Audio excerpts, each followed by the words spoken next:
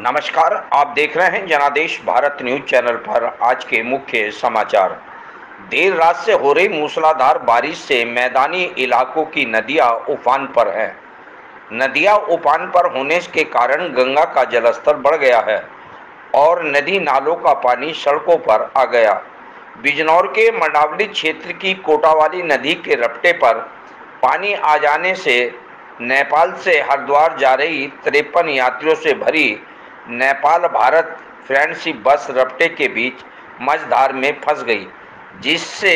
बस में सवार यात्रियों की चीख पुकार मच गई वहीं बीच मझधार में फंसी बस की सूचना पर मौके पर पहुंची पुलिस ने क्रेन और रागिरों की सहायता से बस में सवार सभी यात्रियों को रेस्क्यू कर यात्रियों को सैकुशल बाहर निकाला बता दें कि देर रात से हो रही मूसलाधार बारिश से जनजीवन प्रभावित हो गया है आप देख रहे हैं जनादेश भारत न्यूज चैनल पर हमारे सहयोगी संवाददाता नीरज पाल की यह लेटेस्ट खबर